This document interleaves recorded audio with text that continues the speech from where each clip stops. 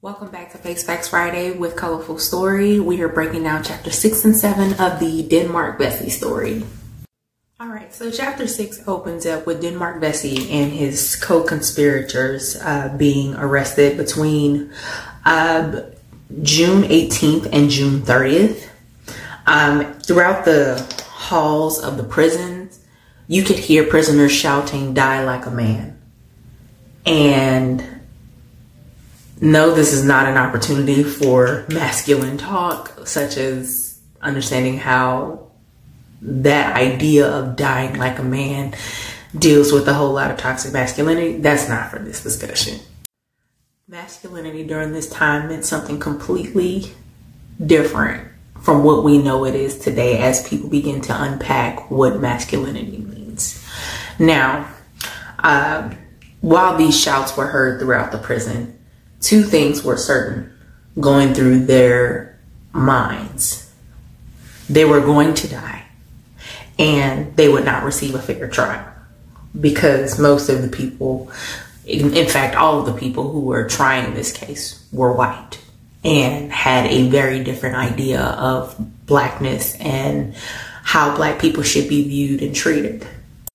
Now we can take a look at some of the trials that are going on today and have gone on during our time, uh, during our lifetime and say the same could be true that most black people do not get a fair trial um, in the United States of America. Plus, they're about to get an all white jury. So, I mean, what can you say in the city of Charleston where there was racial angst? Um, and there were enslaved Africans and there were white people who believed that black people were no more than property. What could you say? Plus, the white authorities had the law on their side. They believed that the only punishment that black people should get, especially in the case of an insurrection or possible insurrection, because one did not occur, um, would be death.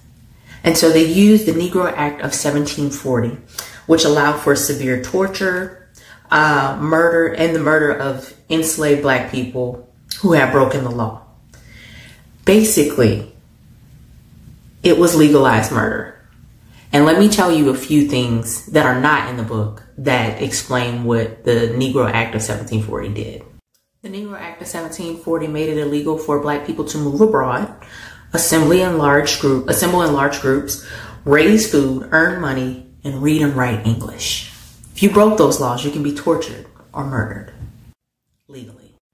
Now, do y'all remember James Hamilton, the mayor of Charleston? He used the Negro Act of 1740 to justify the execution and the torture of the conspirators and Denmark Vesey. And this is why Denmark complained of not having a fair trial because this was something that was not in place when he originally was taken to trial. This is something that James Hamilton decided to enact specifically for this trial. The prosecution argued that the reason the reason for using the Negro Act of 1740 was because normal court proceedings were used only for civilized citizens of Charleston. That included not allowing the defense to argue for the right to counsel. They also um, couldn't challenge hearsay, which is obscene. Um, and they were not allowed to know the identity of the witnesses. Just all the unfairness. Now, the system, yes, system, was in place to deny any type of rights that whites had to blacks. And so it put Africans, enslaved Africans, in a difficult position, including um, free blacks as well, because Denmark was considered a free black person. Um, ironically, enslaved Africans were viewed as property and person whenever it met the needs of those who were prosecuting them. So, um, enslavers, white slaveholders, would argue if they weren't given a fair trial, then the court or the court owed them for the loss of their property. And they could actually sue saying that their property didn't get a fair trial. What? And that's because they felt like if the enslaver wasn't there, um, they didn't have a proper chance to examine the evidence presented against their property. See how racism don't make no sense? The author has an interesting take on this because they said based off of um, his findings when understanding the rules that were put in place by James Hamilton and his judges, this was legalized murder. y'all, this chapter made me so upset. Now, as we switch back to the trial, I just want to say how hypocritical this is.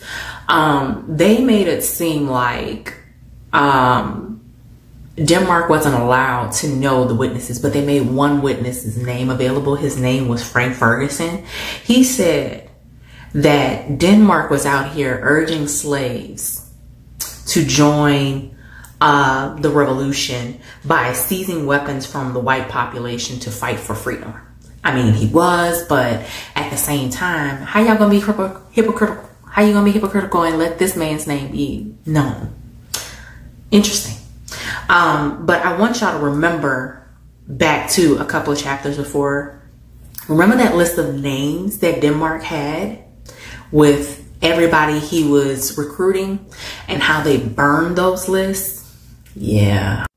Well, the prosecution decided to say that, oh, Denmark has this list of names of all of the co conspirators who are involved in this possible insurrection that never happened. Um, and so, unfortunately, they brought this up as a part of the case, but never were able to introduce it into evidence. They also brought up this idea of weapons, right? Never brought their weapons to the trial.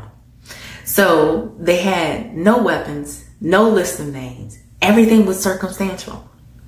However, Denmark and his co-conspirators were sent to death by hanging at the gallows with circumstantial evidence. I just found that to be so America.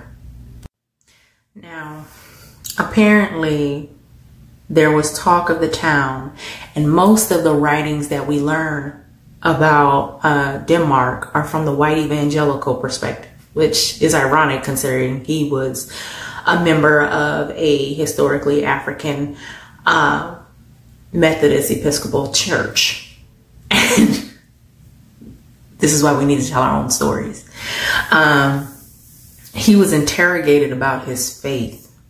Uh, because they wanted to know what church he belonged to. And of course, the church was ostracized because of it. And unfortunately, black prisoners in the AME church who prayed for him and his lieutenants, they were praying in a way that would have him be delivered, but we know that deliverance would not come. So Denmark and his lieutenants were supposed to be hung um, for their crimes or alleged crimes that never happened. Um, but they weren't hung in the same place that white criminals were hung. They were not hung in the same place that pirates were hung. They were hung off on this place called Blake's Land. And it was like a secluded area. And they did this on purpose because they did not want um, black people, free and enslaved, to see Denmark and his lieutenants as martyrs. And they wanted to also take away the idea of there being another chance for an insurrection. They also did not disclose the site where Denmark was buried because um, they didn't want uh, enslaved Africans as well as free black slaves, I'm sorry, free black people to pay their respects to Denmark. So the court took it a step further and decided to punish black people, free and enslaved, for wearing clothes that display that they're in mourning for the death of Denmark Vesey and their conspirators and allow for police brutality to run amok. Um, so anybody who was caught wearing clothes that was showing that they were in mourning were beaten, flogged, and then executed. Two weeks after the death of uh, Denmark, three slaves were murdered um, because they retaliated for the death of uh, Denmark Vesey. There were um, 73 slaves that were brought up on charges for conspiracy. Um, a total of 131 people were arrested and um, 35 were sent to their deaths.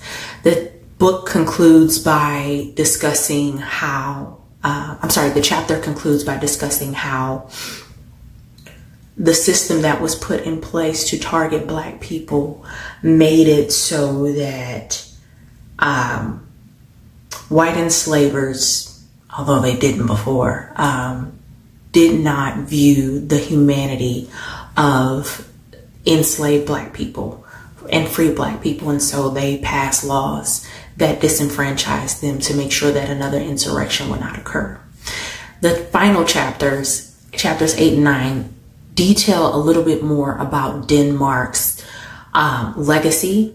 And I do encourage you to read that but I want to give you my final thoughts. So, my final thoughts on this book is um, I do like the book. Um, I have formed my opinion on Denmark, and I view him as a warrior. I believe that too many times we don't hear the stories of warriors and heroes in the enslaved African uh, narratives. We rarely ever hear about the rebellions and the escapes and what happened after some of those who have been the leaders of these rebellions, what has happened to them and what happened afterwards. So we rarely ever hear about how enslaved Africans fought back after their martyrs were uh, murdered legally. We rarely hear about how the um, enslavers and people without color who had power used that power to change laws that impacted the lives of enslaved Africans. Um, we rarely hear about these stories, and I feel like the story of Denmark Vesey needs to be told, and it needs to be told from a hero's perspective. Um, thank y'all so much for watching. I appreciate y'all taking this journey with me with Denmark, Denmark Vesey.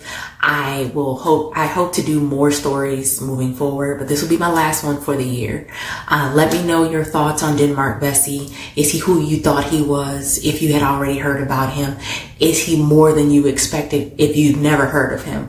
Um, what are your thoughts on rebellions? What are your thoughts on insurrections when it comes from comes at the hands of enslaved Africans. Um, what are your thoughts on heroes when it comes to enslaved Africans? I'd love to hear your thoughts. Um, so make sure you like, follow, and subscribe. subscribe. And um, I'll be seeing you guys with more stories in 2022. Thank y'all for watching.